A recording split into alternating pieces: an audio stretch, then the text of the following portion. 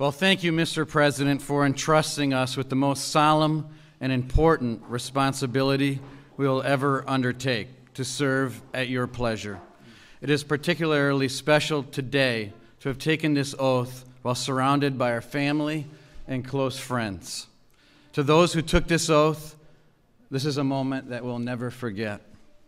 It's also an opportunity to reflect on the immense responsibility we have to our president and our nation. When I walked into my office this morning, there was a verse on the desk. It's from Isaiah 40 31. Those who hope in the Lord will renew their strength. They will soar on wings like eagles. They will run and not grow weary. They will walk and not be faint. It is our duty to serve with character and integrity and to support President Trump as he places the interests of the American people first in everything that he does.